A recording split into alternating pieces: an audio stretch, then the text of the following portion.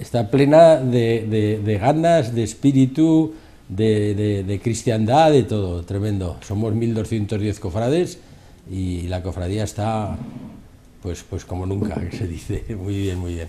El sábado tuvimos la, porque hacemos todos los años, desde el año, desde el año 45 se hace una misa, la misa titular, la misa de la titular, donde eh, desde hace unos, años también, bastantes, se aprovecha para hacer la, la, colecta para mantener nuestra obra de caridad.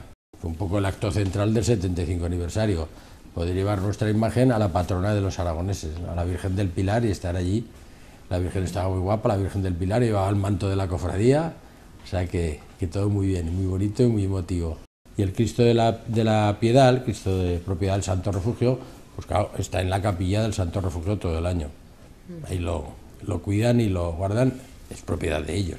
Nosotros lo que vamos es a recogerlo el martes santo, un acto muy bonito, se hace en la calle, se baja desde la capilla al Santo Refugio, eh, se, portado por unos hermanos, los hermanos del refugio lo dan a hermanos de la piedad, todavía lo llevan a la peana, que sí que es propiedad de la cofradía de la piedad, ¿eh? y, hay un cofrade todos los años que tiene el privilegio de, clavar el Cristo en, el paso. Tiene dos, dos eh, carismas fundacionales que son los que, tiene más, pero hay dos importantes, que son las que, los que la sustentan, que es la devoción a la Virgen, su advocación de la piedad, por un lado, y después la ayuda a la, lo que fundacionalmente se llamó la Madre Desvalida. La imagen de la piedad es la imagen de una madre desvalida, o sea, una madre con el hijo muerto, recogido en su regazo, viuda, sin ayuda de ningún tipo, que se queda sola. Entonces, la cofradía de la piedad, mm, con, ese, con esa, esa advocación de la piedad, pues, pues los fundadores eh, tuvieron esa chispa, esa intuición de decir, pues nuestra obra de caridad tiene que ser en favor de las mujeres. Que tenemos una fundación de tipo civil que se llama Fundación La Piedad con lo cual conseguimos abrirnos a la sociedad y conseguimos pues mm, fondos de las obras sociales de las cajas y todo esto. Y nos ha permitido, nos ha permitido pues eh, tener una, una, casa de acogida que tiene 14 habitaciones, está en Valdefierro. La salida a las 0 horas del Viernes Santo, es impresionante, es impresionante.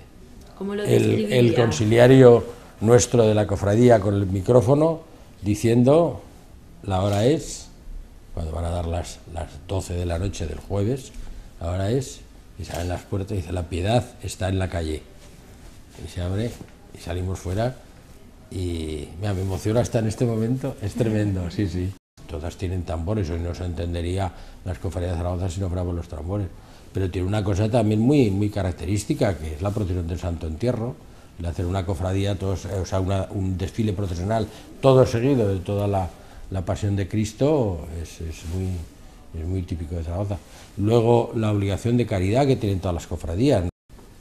Pues la entrevista personal, ¿eh? nosotros no tenemos más criterio que ese, porque nosotros no, no, no hemos estado en, juzgándoles, ni, ni, ni, tenemos otro elemento de juicio más que verles la cara y ver a...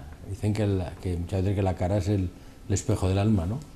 pues eso, hablar con ellos, ver cómo están, ver qué, nos, que nos cuentan, eh, si son sinceros, si dicen que han escarmentado, si, si fue una tontería, si no es una tontería.